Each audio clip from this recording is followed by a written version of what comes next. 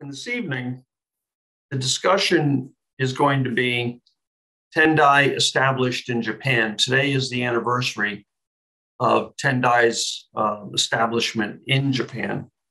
Now, this particular talk is given at least once a year um, on the observance of Dengyo Daishi. And I have to admit that I, I took basically the same slideshow I used last year at this time, and I've repurposed it with some new pictures and a few new sections, but it is similar. Um, and part of the reason was that I thought that what I was doing last year was a service to many people, but many of the people that we have now weren't here at that time. So I thought that I could reuse it. And I just want to mention a few things at the outset that I often uh, mention in talks like this. And that is to say that um, religion, when we talk about Tendai, it's obviously religion. And religion in Europe, the Middle East, and the Americas is delineated by the Abrahamic traditions, which are exclusionary by definition and are a component of the social milieu. In Asia, what we refer to as religion are rituals, philosophies, and practices thoroughly integrated into the culture and are not exclusionary. And that makes a really big difference. And so when we discuss Tendai this evening, you'll see evidence of that. So this is a different lens through which we experience both universal and local, local divine phenomena compared to religion, in quotes, in the Eurocentric sense.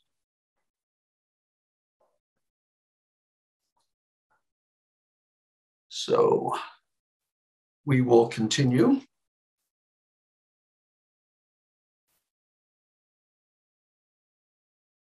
And since it's wintertime, I thought that a nice snowy scene woodblock print would be appropriate. And this evening is going to be a contextual exploration, and it's a rather long presentation compared to other evenings, so please bear with me. And what I'd like to start with this evening is what was Buddhism like in Japan before Saicho and the Tendai school? We're going to do a brief recitation of Saicho's contributions and a few point, a selective, selective recitation of events surrounding the Tendai establishment, and a few points about Tendai innovations in Japan. Now, the Tendai innovations are part of, an, of another slide. That'll make sense when we get to it. Um, but I think it's really important when we talk about Tendai to recognize that not only is it a traditional school, but 1200 years ago, it was a really rather innovative school. so, what was in Japan when Tendai, before Tendai came along? The first is that Shinto was present when Buddhism was introduced. Kami no Michi, Shinto, was a loosely observed set of animist and polytheistic rituals, traditions, and beliefs that was practiced by the people in the Japanese archipelago by the Yayoi people, which would have been about 300 BCE to about 300 CE, approximately when Buddhism arrived. And when I say arrived, while we'll talk about it in a few moments, when it officially came to Japan, Buddhism had been sort of um, dispersed to Japan from Korea and from China um, by people who are visiting the archipelago previous to um, the formal introduction. So um, next month, um, I will be discussing the syncretism between Shinto and Buddhism that started almost as soon as Buddhism formally arrived in Japan. That's a, a separate discussion, but it's also of interest. Buddhism in China, India, and Korea were in a, dam- a dynamic process of change and growth at the time Buddhism was introduced to Japan. And this was an ongoing project, a prod, ongoing process. And that is to say that when Buddhism was first introduced to Japan, major influences had yet to develop on the continent. So think of it this way when Buddhism was first introduced to Japan, Tiantai did not exist as a separate school. Bodhidharma was just arriving into China from India. Tiantai was not present. The Sarvastivada and Sautrantika schools were still the major schools of thought in Buddhism. So at the time Buddhism was being introduced in Japan, people often don't think of it this way. Buddhism in China was really still developing. With the formal advent of Buddhism in Japan, there was also the introduction of writing, Taoism, Confucianism, and Chinese style government and the imperial court. And Japan was a collection of fiefdoms that were loosely, loosely unified from around 400 to 900 CE, when with an emperor and empress as sacerdotal sources of political authority and the rulers of the nation. So when Buddhism was being introduced, Japan was a fiefdom that was still developing. Uh, and it was not a, na- a, nation state the way we think of a nation state today. It was, it was really a much more loose confederation. The introduction of Buddhism to Japan. Buddhism was introduced to Japan unofficially about 467, and all the dates that I'm giving here are CE. Uh, and officially in 552, according to Nihon Shoki, which was the uh, Chronicles of Japan, the second oldest book of classical Japanese history. And Buddhism had most likely been presented by Chinese and Baekje, current Korea, immigrants, merchants, and sailors several centuries before. Um, and the 467 date that we see were a group of Buddhist monks from Gandhara who traveled to Japan with the Buddhist canon and illustrations, preaching and sharing the teachings. Under the Empress Suiko and Chief Minister Prince Shotoku, Japan, uh, Buddhism became a formal part of the imperial rule. You may recall, as I mentioned, Empress Suiko in previous discussions, the role of women in Buddhism she was one of the first Buddhist monarchs in Japan who had taken the vows of a nun shortly before becoming empress. Her nephew, Shotoku, was appointed Sessho, and he was a devoted Buddhist and is alleged to have written the annotated commentaries on the three sutras the Lotus Sutra, the Vimalakirti Sutra, and Srimala Devi Simhanada Sutra. This demonstrates that from a very early time, Japan was really incorporating Buddhism into the, into the fabric of the nation. The first of these commentaries is traditionally dated to about 615 and is considered the first Japanese text, which makes Shotoku the first Japanese writer. It is significant that this text was a commentary on the Buddhist sutras.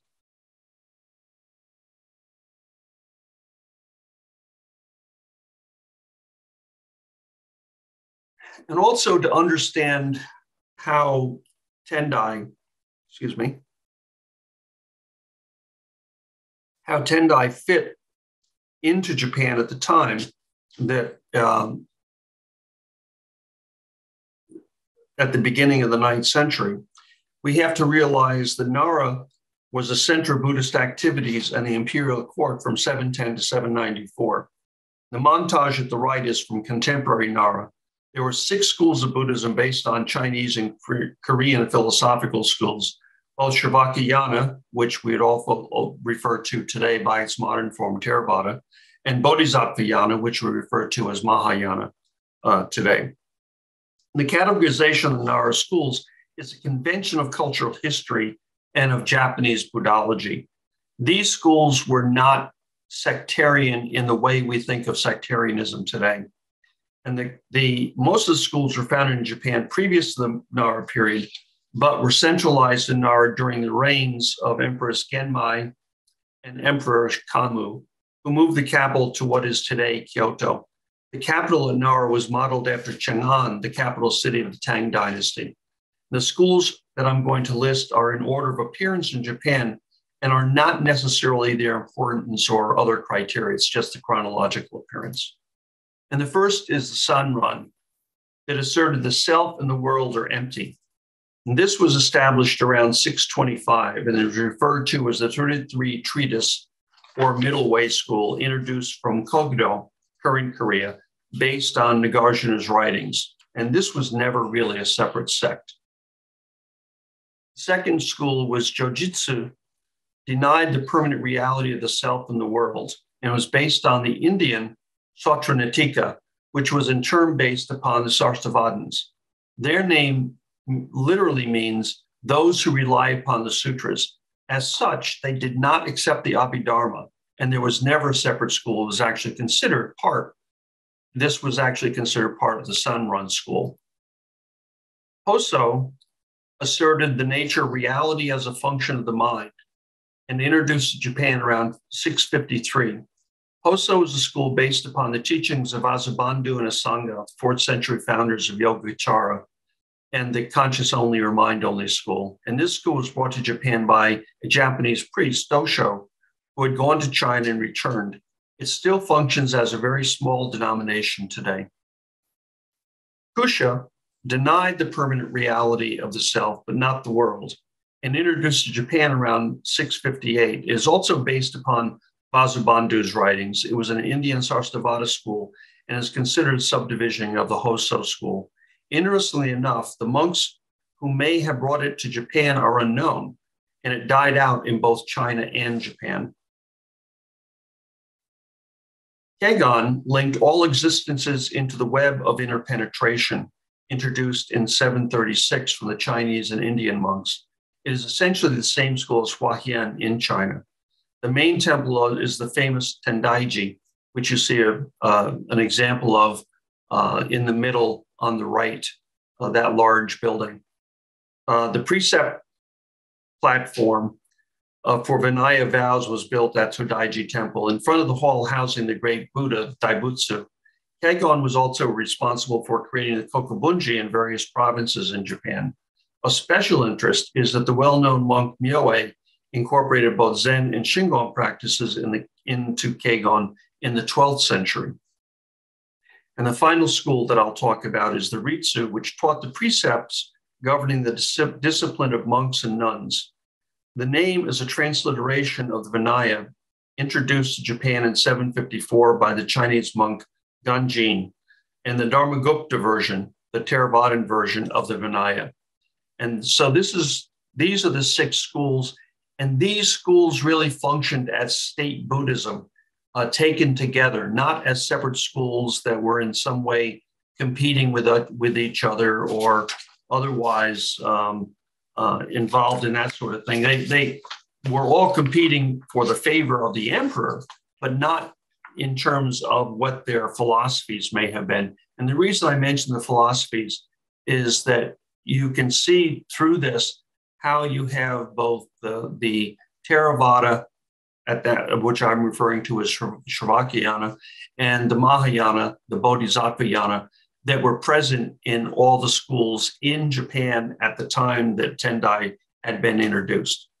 And it's important to keep in mind that these schools were staffed largely by monks, nuns, and artisans from Korea and China. Japanese monks and nuns were ordained under these continental teachers. The imperial code prohibited clergy from practicing and propagating Buddhism in the countryside and thus restricted them to their home monasteries. In other words, as a state religion, these schools were not permitted to actually teach uh, in the countryside. They could do things like funerals and memorial services. The government also limited the annual number of monks receiving ordination, which could only be carried out at an officially sanctioned ordination platform such as Todaiji, which you see in the picture here. The court conferred rank on leading monks, thus creating a sense of gratitude and obligation, as well as a chain of command used to regulate the clerical community. The official system gave rise to illegal monks who were often self ordained and worked freely among the people. Following the Nara era was the Heian era. from 794, that should be 1118, not 118, um, corresponds to Heiankyo, the new imperial capital named after Mount Hiei, northeast of Kyoto. Heiankyo was later renamed Kyoto. It's a period in Japanese history when Chinese influences were in decline and the national culture matured. The Heian period is also considered the peak of Japanese imperial court and noted for its art, especially poetry and literature. Oops, sorry about that. I meant to hit a couple of things here, but forgot to do it. And so Tendai arose at the beginning of the era and dominated throughout. The so called new schools of Buddhism, Rinzai and Soto Zen, Jodo and Jodo Shinshu, and Nichiren, began at the end of this period, called the Kamakura era, when imperial rule declined and the shogunate or military governance became dominant. And the Bakufu, or tent of the shogun, was located in Kamakura, southwest of today's Tokyo. This was a period in Japan when Chinese influences were in decline and the national culture developed. More about that as we go on. And these changes were part of the ascendancy of the Tendai school in Japan. And we can't talk about the founding of Tendai and not talk about Saicho, the founder. And we see here the some of the most important early zasu or spiritual heads of Tendai, starting with Saicho on the left, going on to Ennin, Enchin, Ryogen, and Genshin. We can have a number of others uh, here, but these, these are examples.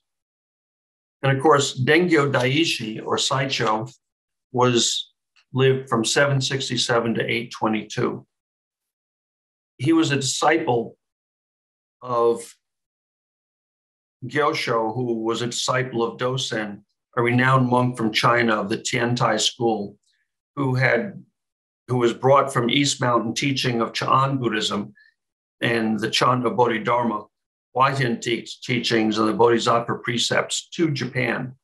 He took tonsure at 14 years of age and full monastic precepts at Todaiji when he was 20 years old. Emperor Kammu granted a petition for Saicho with an interpreter Gishin to travel to Japan in order to receive teachings in Tiantai meditation and esoteric practices, and he did so in 804, 805. And upon his return, he established new Tendai school in 805 on Mount Hiei. Sometimes it's listed as 804, sometimes 805. I won't get into that now. On Mount Hiei was provided with two ordinands one to study Mikyo or esoteric practices, and one to study Makashikan or meditation. It also returned with an uh, Oxhead School of Chan, and that was also practiced on Mount Hiei, obviously along with the Lotus Sutra. I'm going to talk about a few features of Tendai.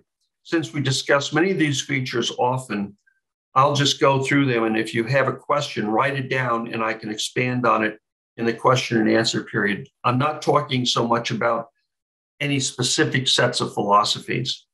Um, keep in mind that most of these features that we're going to discuss had a profound effect on all of Buddhism in Japan, not just on Tendai in the years after Tendai's founding.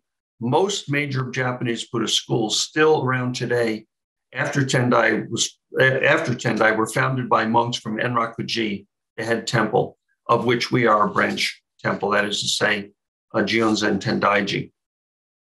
And of course, the first feature of Tendai is the Lotus Sutra as a primary canon, Tiantai philosophy, Shikango or Shikan meditation.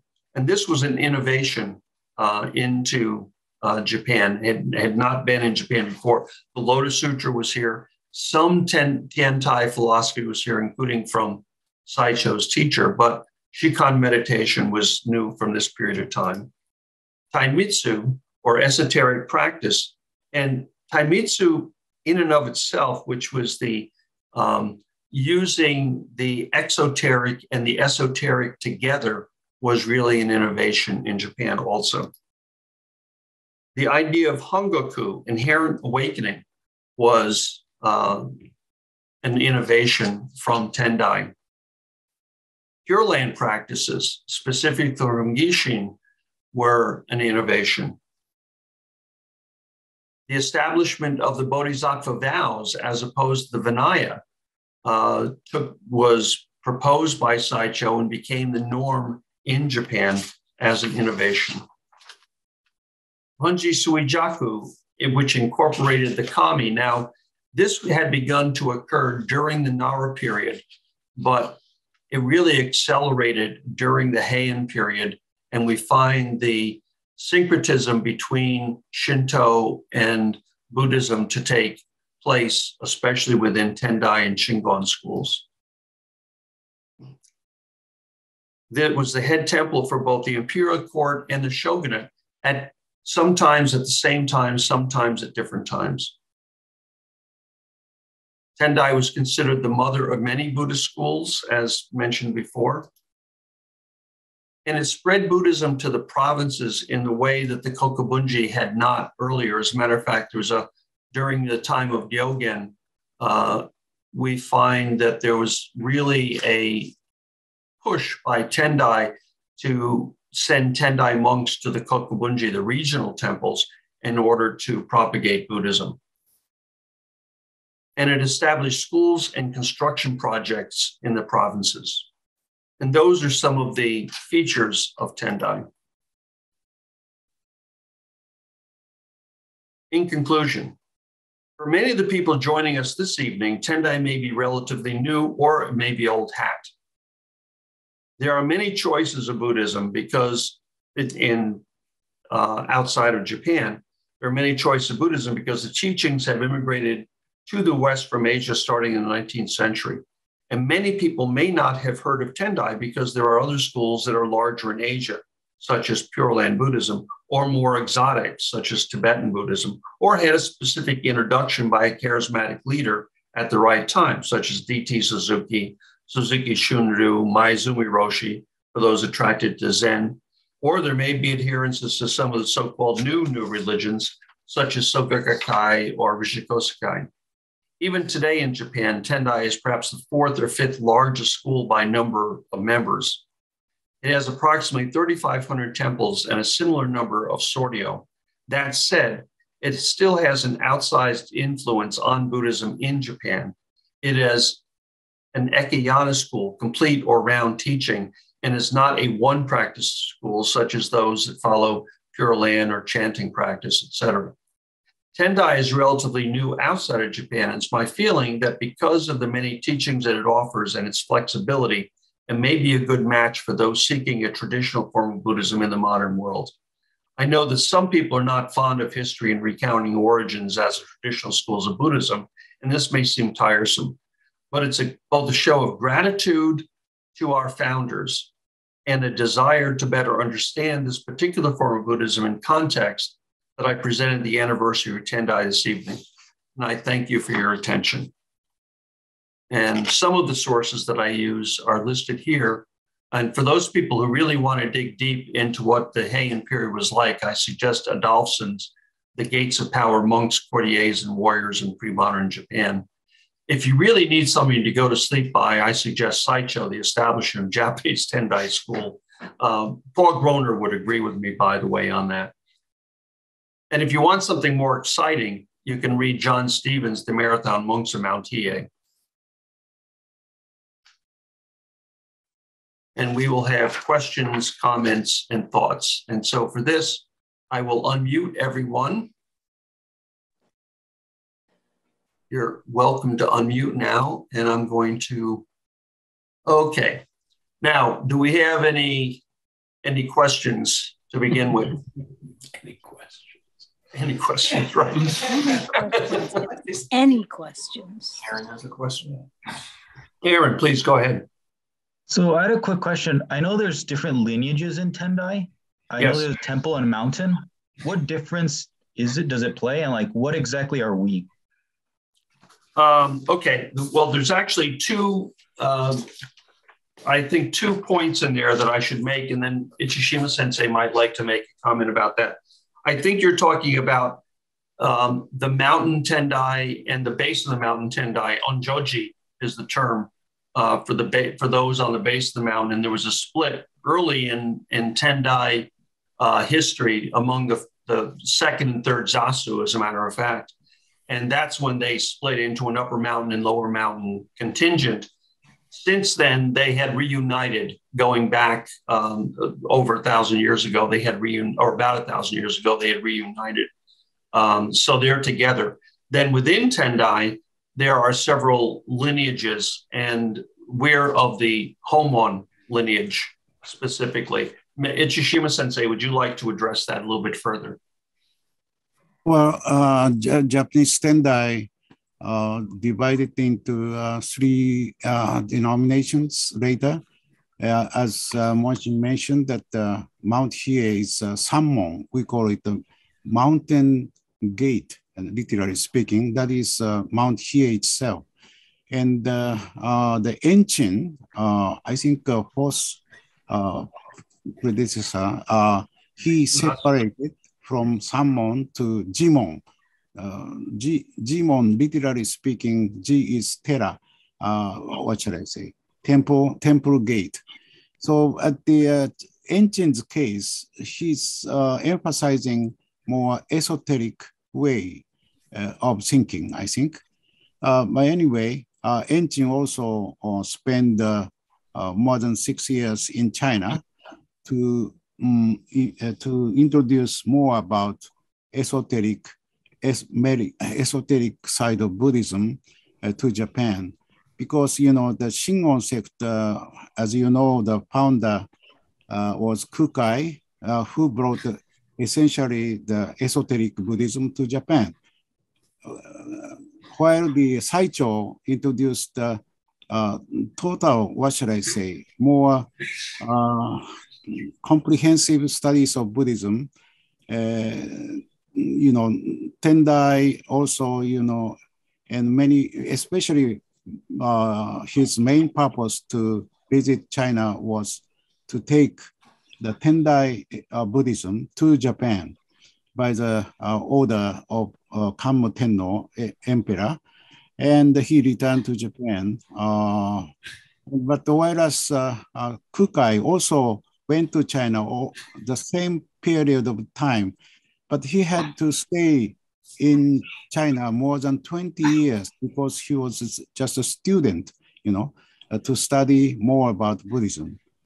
Whereas uh, Saicho was essentially the uh, kind of visiting professor, uh, like uh, dispatched by emperor to uh, take a lineage of Tendai, more authentic Tendai uh, teachings from China to Japan. Because Kammu uh, rather afraid or hate that uh, Nara period Buddhism because they dominated most part of the religion sect to Japan and influential too much, you know, if, uh, advice to government. So Kammu hated that way of uh, what should I say uh, politics, and so he moved uh, uh the main uh, place from Nara to uh, Kyoto later, and he but he need further spiritual what shall I support from uh, Saicho because Saicho was very of course he studied and he got the lineage of everything, especially uh, Ganjin, who brought uh, the official uh, Ritsu, Vinaya tradition. Uh, and uh, uh, but he Saicho thought maybe Japan need to have more broader like Mahayana type of Buddhism, Bodhisattva, to help all people uh, you know, whereas uh, Nara Buddhism, they just uh, maintain the, uh, what shall I say, uh, mm, uh, uh, Pratyeka Buddha or uh, such, you know, uh, Shravaka styles of Hinayana way. But he wanted to establish Mahayana uh, platform center at Mount Hiei. And uh, so uh, Tendai was established uh, around, yeah, yes, as uh, Monshin mentioned, uh, January 26, uh, 806. That was the first uh, uh, time to establish the Tendai, uh, Tendai Buddhism in Japan. And later, uh, you know, Enjin and Enchin went to China.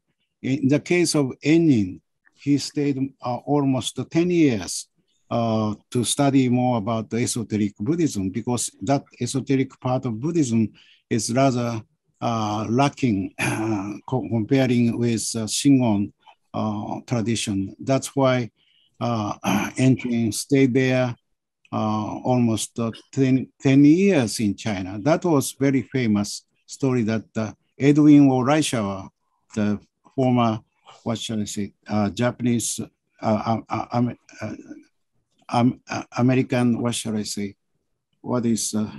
ambassador. Ambassador. And he studied uh, diary, and that was very important to study that period of China and so that was his uh, dissertation to Harvard University. That was appeared in English, uh, Ennin's diary. that after Enchin, uh, Enjin appeared, he stayed in uh, China only just six years, but uh, his way of thinking is more uh, esoteric uh, type of Buddhism. So such way, such a way, uh, mountain school, Hieizan and the Onjoji Temple, uh, uh, you know, they down of the foot of Mount Hiei, uh, separated. And later, Jimon sect, uh, uh, yeah, that, that is Jimon sect. And uh, Shinsei sect, that is only pure and way of just counting Nembutsu type, that's uh, separated. So anyway, these three are major, I think, uh, changes of Japanese Tendai Buddhism. Uh, just as, as a point to, to, on Aaron's, and I'll take a couple more questions, but just a point on Aaron's question about the difference between the Sanmon and Jimon uh, sects within um, within Tendai Shu. A number mm-hmm. of years ago, we had a an event at the Boston Museum of Fine Arts um, that was uh, the Jigyodan, the uh, Tendai Charitable Foundation, which is the uh, works with the Betsuin here and Mount uh, very closely. And so we had an anniversary celebration for our um, Hondo, the, the renovation of our Hondo and at that time, this was the second uh, the second year after the the we had the the um, the consecration of the Hondo, and uh, so we went to Boston Museum. And the reason, one of the reasons we chose to do that, was that um, William Sturgis Bigelow and uh, Fenollosa. Had been a curator, and Bigelow had been one of the major contributors to the museum and that the Bigelow's collection of materials from Asia was really the corpus of the Asian collection at the Asian uh, at, at the Boston Museum of Fine Arts. And so Bigelow and Fenollosa were both Tendai monks, and they trained out. They trained in at um, uh, Onjoji. As a matter of fact, the, the temple they trained at is still there. We, Shumon and I visited the temple, and it's really interesting to see that they retained the, the room that um, Bigelow lived in exactly the way he lived in it. They still have his couch, his desk, his chairs, the, the globe, the, you know, the whole room is just Bigelow's room the way he left it when he left. And by the way, his ashes and, and Fenollosa's ashes are at Onjoji. Uh, well, half of the ashes, half are in Boston, half are, are in, uh, in Japan. But the funny part of it was this was all preliminary. So I mentioned to um, the Jigyodan, I said, well, why don't we, as the celebration for our second anniversary, why don't we go to, to um, it's, it was also the anniversary of Bigelow's becoming uh, or ordination as Tokudo. It was that happened to be the 125th anniversary. This was in the 1880s. So the first Tendai monks in America were actually Boston Brahmins in, the 1880s. And I said, well, why don't we go to Boston Museum and we'll have a celebration of the 125th anniversary of Bigelow.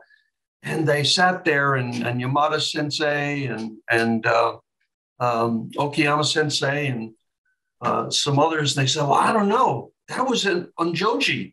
That wasn't Enryakuji." And one of them said, "Well, I guess it's okay. That was a long time ago. It's okay. We, we can do it now."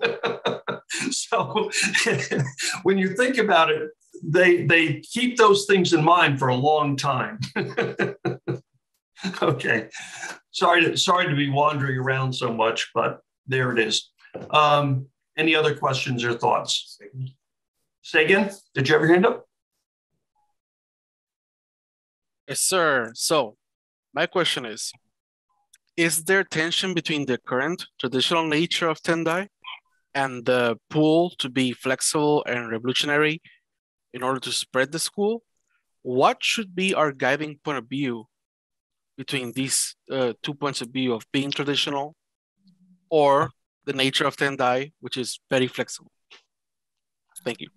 Okay, I can't I can't speak for Tendai. I can just speak for myself. Okay, so take it from that. And I think that that when we look at it, Tendai itself, you know, is not only traditional, but when we talk about tradition, it's really very Japanese cultural.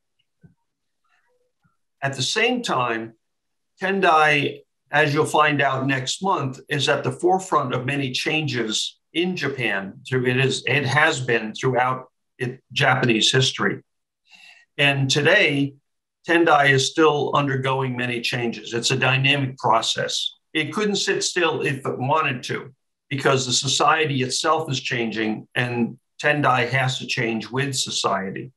So I don't think it's revolutionary but I don't think it needs to be revolutionary because it's to say if we're going to follow the teachings of someone from 2,500 years ago, what is revolutionary? In other words, it's it's undergone 2,500 years of development, and there must be something there that's that's part of the wisdom process. And we're not going to change just to change, but at the same time, I think the change occurs when it needs to occur. And so I look at such things as um, 150 years ago, women would not have been permitted on Mount Hiei, literally. You know, but they've been on Mount Hiei for many, many other years. You have, you know, nuns who are very famous nuns in Japan now who are at the forefront of women's issues, as an example. Um, you have a situation where uh, Tendai Shu, because it's Ekayana, does not hold to just one set of teachings as being one thing is right for everybody. It recognizes that there are different things that are appropriate for different people.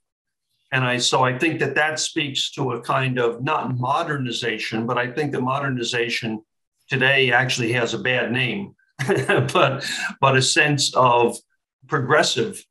Uh, it's progressive in its very nature as you'll hear Job speak next month, he's going to be doing a discussion on um, Hagami Sensei, who was seminal in developing interfaith tradition in Japan starting in, in the 1980s, um, long before any other schools of uh, Buddhism in Japan were, were really interested in that sort of thing, specifically joining forces with other religions for the purposes of world peace and, and those lofty sorts of goals. So I hope that I hope that answered your question. Yes, thank you. Okay, uh, maybe one maybe one more quick question if anyone has a quick question. Shoshi, go ahead. Yeah, it, it strikes me as ironic, and you you were talking very early on about the inclusivity of all of the various schools and so forth. And I'm just wondering um, what's happened. Uh, the Sanghas um, today don't seem to be um, very interactive. I mean, I'm thinking of the United States. Yeah. Um, you, you, you know, we have trouble getting together with our neighbors, neighbors up the street and so on. So I just wondered if you could just comment on that. I, th- I think what you're looking at is a an American phenomenon, a sectarianism that spread in America. Um, in Japan, they get along to, to a much better extent. I'll put it that way. But also in Japan, you have the Ministry of Religious Affairs. And so they make sure that everybody plays nice. in this country, I think, look at the difference within Christianity, for instance, between evangelical right wing groups versus some of the uh, less right wing evangelical Christian groups in America. I mean, I think that's just part of, of American culture. I think that it's reflecting that more than anything. Yeah. In, in Buddhism. And, and the other thing is, in Buddhism, you have in America, not to say you don't have Tibetan Buddhists and you don't have other Buddhists in Japan, but people really align themselves in those ways in a sectarian fashion um, that is very peculiar to um, Western ways of doing things, I guess is the best way to put it. Um, Ralph, you have, you have your hand up. Yeah, I just wanted was wondering if you'd uh, uh, uh, uh touch on the uh, the, the, the Nichiren uh, branch of of. Uh, oh, Nichiren. The Nichiren branch, did you say, Ralph? Yes. Okay. Um, well, Nichiren Buddhism was at its outset. Um, Nichiren himself, the, the founder of Nichiren Buddhism, of course, follows um, the Lotus Sutra very closely, and it's based upon the mantra Namo Myoho Renge Kyo as being the, which is the exalted title of the Lotus Sutra, as being the one thing that one needs to do to that in faith in Nichiren, the person, um, uh, to attain awakening. But then we would get involved in the whole issue of Mappo, the period of the degenerate Dharma, and whether or not the, the teachings would be available outside of, of through the ben, through the benefit of of Tariki, um, which is the Tariki, the the the faith in the other, which we also find in Pure Land. So now we're getting into a whole branch of of discussion um, but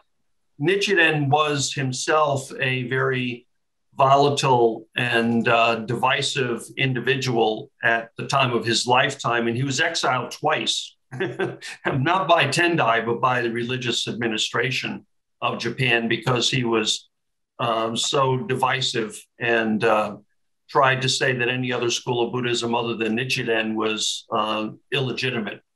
And so that's that's not to speak to to, to uh, Nichiren Buddhism today, but that was that was part of its founding. Okay. Yep. Thank you. Mm-hmm. Okay, I'm going to move along. Otherwise, we're going to be very late. So I thank everyone for your attention. I hope that for those people who've seen this and heard this many, many times before, that you found at least a, a sliver of something interesting that you hadn't seen before. And uh, for the people who have been coming and they wonder, well, what is Tendai other than what I might have read in a book or a footnote someplace? This might give you a better understanding of how, how Tendai fits within the larger picture. Okay. Thank you.